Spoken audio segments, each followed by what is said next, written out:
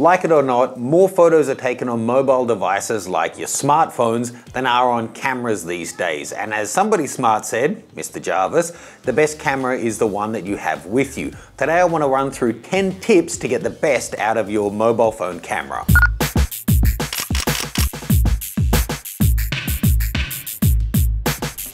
Please take a moment to check out my second book, Public Bodies Art Nude Photography Shot in Public Places in dozens of cities all around the world. The link is in the caption below where you can find out the concept, more information, and pick up your copy. Now let's jump into the tips. Tip 1 You can use your torch as a continuous fill light.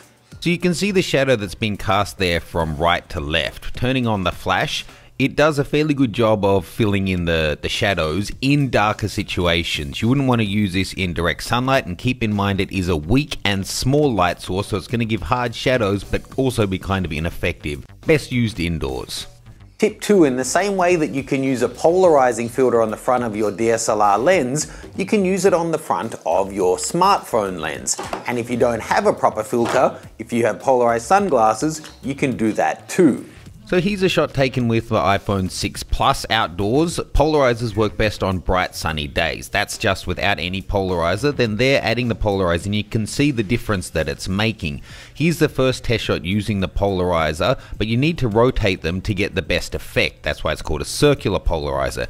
There we go at maximum effect. You can see it's really making the colors punch.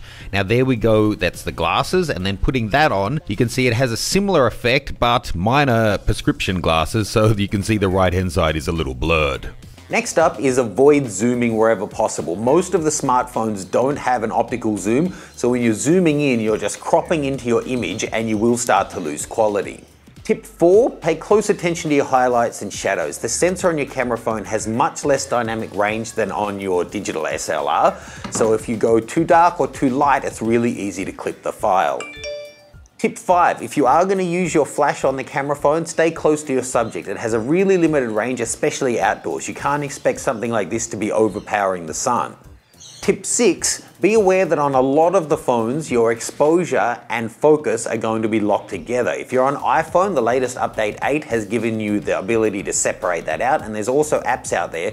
But if your point to touch where you're going to focus is also metering, you want to make sure you're doing it on the most important area of the shot, such as somebody's face. Otherwise, if it's metering for the whole scene, you may end up getting too dark of a shot, especially if they're backlit. Tip 7. Don't assume just because it's a tiny sensor in here that everything's going to be sharp. You still want to pay attention to your focus. Take a look at these demos. Here focusing on Jade, Justin in the background is blurred out, and then there focusing on Justin, Jade is a lot softer. She's soft.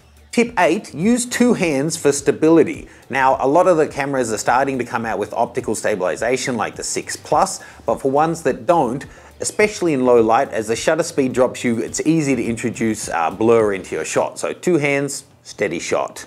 Tip 9, just because it's an iPhone shot doesn't mean you're limited to just banging on a filter and going. It's worth editing your shots. I personally use Snapseed from Google for my editing. Give you a quick look. The Snapseed interface is so easy to pick up. You just open an image and then it's all just using slide motions. Opening up this shot that I took earlier today, you can see you can make really simple adjustments. You use up and down to change through the options in each one, and then left and right to increase or decrease the intensity. You can crop with it keeping a certain aspect ratio or just do it freely, and there's all kinds of different tools, including this drama edit and, of course, HDR. So here's the original image, and then the final after that 10 second edit. And finally, number 10, just because you're taking the photos on your phone doesn't mean it's not real photography. So all of the usual lighting and composition and creative decisions are open to you and you want to think about them if you want to increase the overall standard of your work. If you want to learn more about lighting and how you can start to take control of how your images are looking, check out my Take Control of the Light workshop at mattgranger.com forward slash light. Leave me any questions or comments. I'll see you soon.